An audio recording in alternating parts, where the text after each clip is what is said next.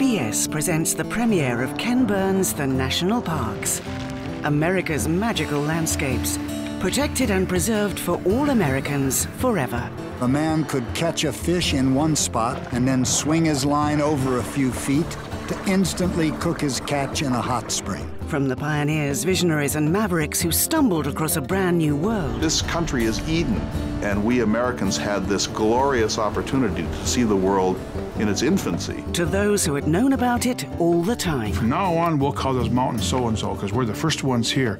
In the meantime, I can see my relatives hiding behind rocks looking at them saying, wow, what are these guys doing up here? Ken Burns' The National Parks. Going back to wild nature is restorative. It's a way of escaping the corruptions of urban civilized life, finding a more innocent self, returning to who you really are. Every weeknight at 10.15 from the 12th of April only on PBS.